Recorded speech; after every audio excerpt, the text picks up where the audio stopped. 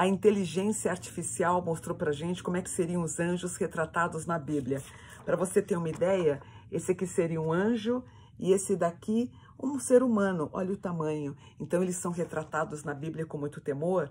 Abraão viu um anjo, por exemplo, Jacó lutou com um e todos falam que foi tudo com muito grande temor. Na Bíblia eles são tratados como ufanens e lembra um pouco até a ideia dos ufos.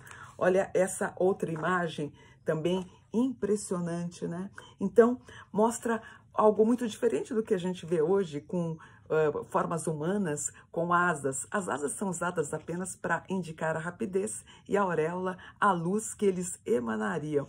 Mas eu vou gravar outros vídeos tratando sobre a energia dos anjos. Eles estão nos protegendo sim e cada ser humano teria um anjo guardião.